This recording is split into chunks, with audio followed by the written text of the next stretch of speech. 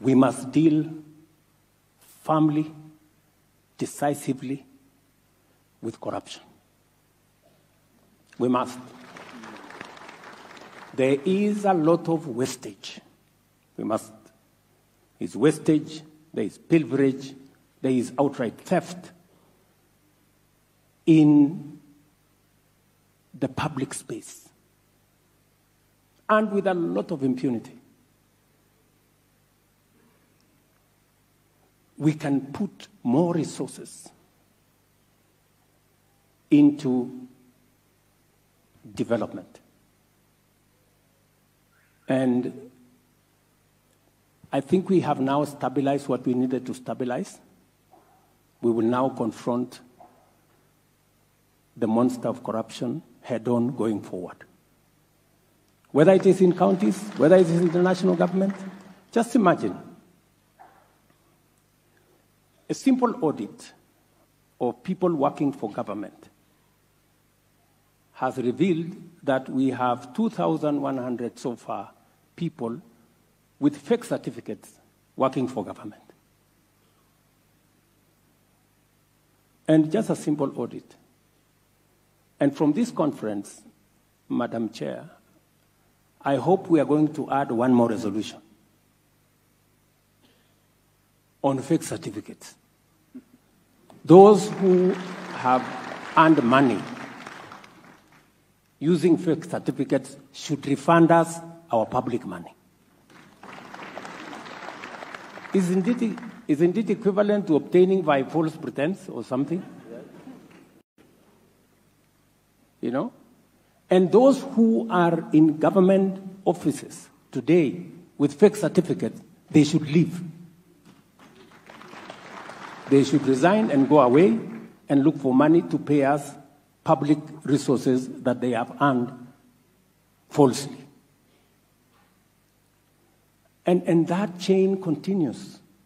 That chain continues.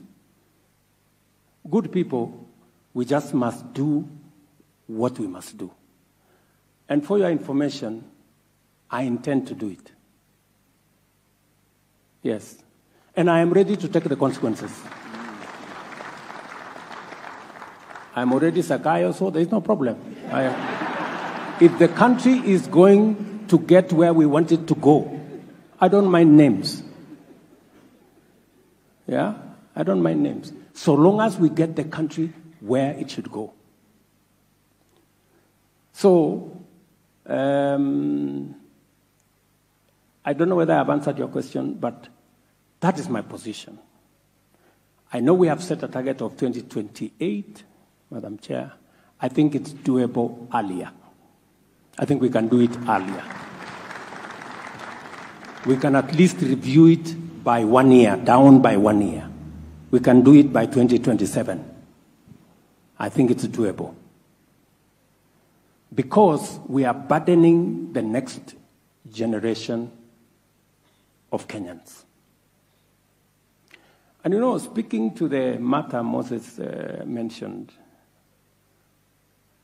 that uh, one million of us who are working, we are taking away 1.1 trillion of the 2.2 trillion we collect. So, one million of us.